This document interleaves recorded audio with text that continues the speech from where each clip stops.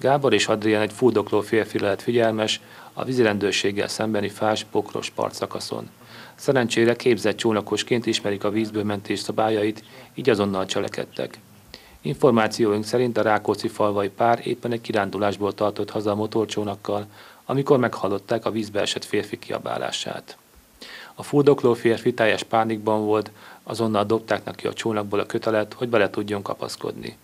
A kötelet nem tudta elkapni, ezért közelebb mentek hozzá a motorcsónakkal. Nagy nehezen belekapaszkodott a csónak oldalába, de látszott, hogy semmi ereje nem maradt. Ezután segítsége jutott a csónakba, a páros férfi tagja húzta be.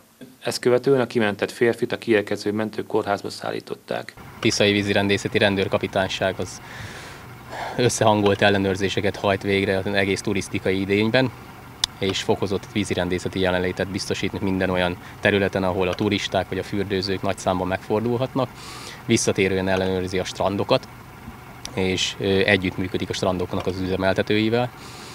Amire figyelni kell, hogyha fürdőzünk, hogy például a 6 éven aluliak, illetve az úszni nem tudó 12 éven aluliak csak felnőtt kíséretében fürdőzhetnek a szabad vizekben valamint a kikötők, támdorongok, hídlábaknak a közvetlen környezetében tilos a fürdőzés, illetve a hajózó útban is tilos a fürdőzés. Amire figyelniük kell a ö, szabad amire figyelniük kell a fürdőzőknek, hogy felhevült testtel ne ugorjanak ö, bele a vízbe, illetve teljesen jó lakott állapotban, alkoholtól vagy egyéb bódítószertől befolyásolt állapotban ne vegyék igénybe a szabad, vizei, szabad vizeket. A rendőrkapitányság szakemberei azt ajánlják, hogy minden esetben, aki szabad vízben fürdőzik, az inkább a kijelölt fürdőhelyeket, fürdővizeket vegye igénybe fürdőzésre, mivel ott, ott van a speciális mentőfelszerelés, a szakemberek, a vízimentők, illetve a mederfeneket átvizsgálják láncokkal, és tehát az úszadékokat is kiszedik a mederfenékből, és ott a legbiztonságosabb a fürdőzés, ahol a szakemberek megfelelő eszközökkel tudnak reagálni adott esetben mondjuk egy vízbefoglalás során.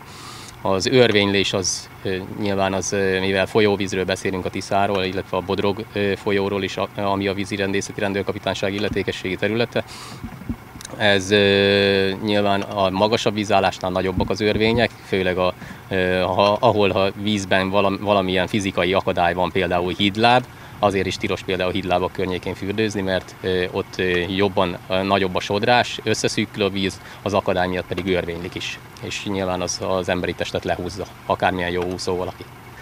Ezért ajánljuk azt, hogy ne egyedül fürdőzzenek az emberek, mert hogyha ketten-hárman fürdőznek, akkor egymásnak segítséget tudnak nyújtani. Ha már csak annyival, hogy a 112-t értesítik, vagy a mentőszolgálatot értesítik, akkor már előrébb vagyunk, és ha valamilyen uszadékba vagy bármivel meg tud kapaszkodni a fuldokról, akkor a segítség érkezni fog a helyszínre. Úgy tudjuk, a bajba jutott fiatal férfi azóta már jól van, és elhagyhatta a kórházat.